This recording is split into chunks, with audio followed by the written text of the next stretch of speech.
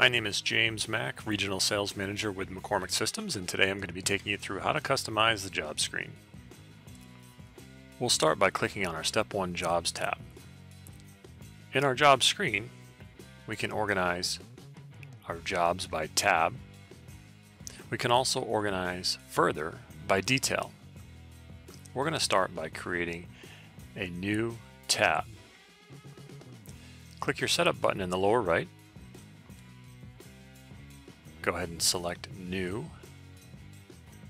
And let's go ahead and create a tab for Medical.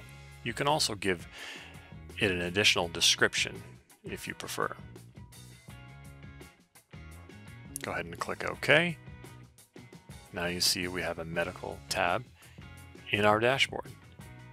If you'd like to go ahead and move that to a different location, simply select it and using the up or down arrows, push it to the desired location. Now we see medical right after our commercial jobs. Now we're able to push jobs into that new tab or folder. Go to your Move Job to Tab option, select the folder that you want, and push it into the new tab. To create new job details, click the Details button, click Setup in the lower right, and click New.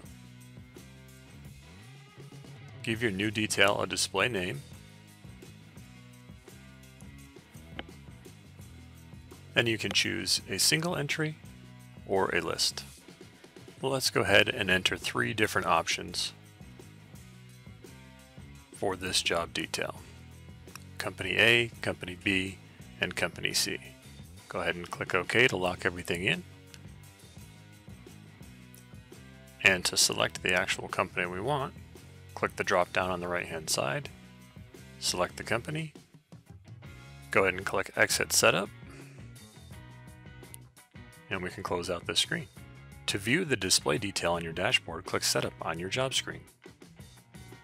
Go into your job details, select Property Manager, push it over to the current job details side, hit close, and we now see our new detail on our job screen.